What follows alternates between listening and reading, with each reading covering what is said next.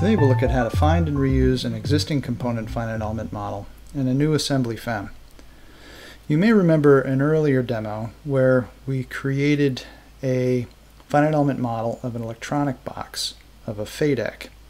Here we have a bracket that is being reused not only to support the FADEC but also a P495 manifold. Now if we weren't the analyst that did the original analysis on the FADEC, we may not know if a simulation model exists for this bracket. Now we could do a where used report, but that would only show us what assemblies the CAD component is used in.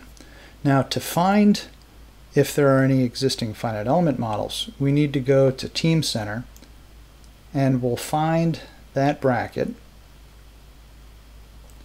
and then we'll send it to the CAE manager.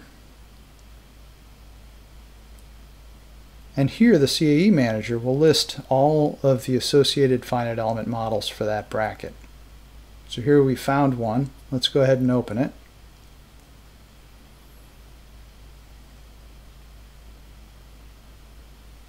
And here we can see it's a shell finite element model. That'll be perfect for our P495 manifold.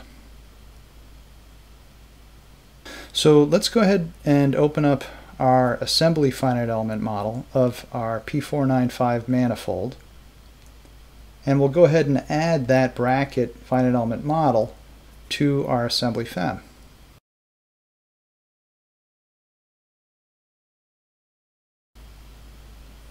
Alright, now that we have the bracket in our assembly FEM, all we need to do is connect it and constrain it.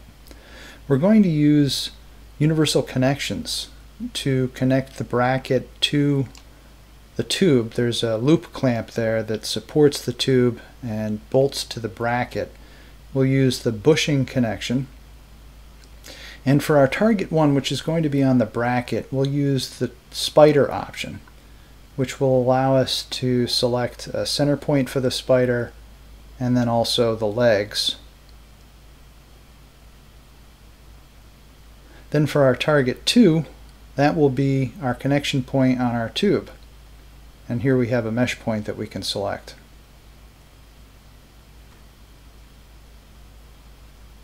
Next we'll specify our axis and our physical properties and we're ready to realize the bushing but uh, let's do that in just a moment. Let's continue creating more bushings. And here you can see the dialog is sticky to some extent as far as the axis and physicals are concerned.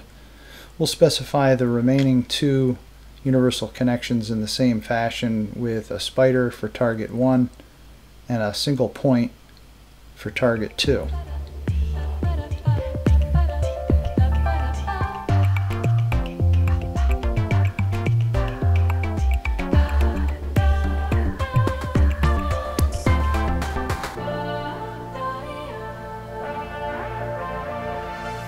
Alright, now that we have all of the universal connections defined, we'll go ahead and realize them by specifying eh, the options that we'd like for the type of elements we'd like to create. So here we'll select the C-bush and RBE2.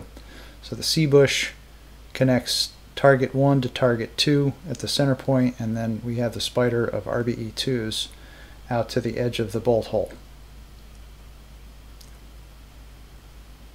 Alright, so lastly, before we leave the FEM, let's go ahead and resolve any node and element conflicts as far as the labels. And then we'll go to our sim and we'll add our constraints. Here we'd like to fix the holes of the bracket where they mount to the low pressure turbine flange.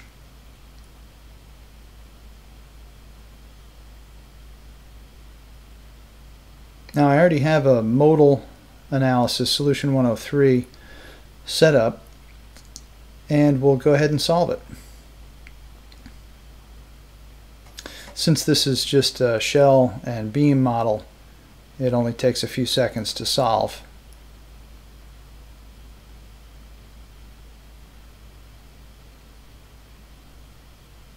and then we can post-process the results. Here we can see our first mode is at 365 hertz.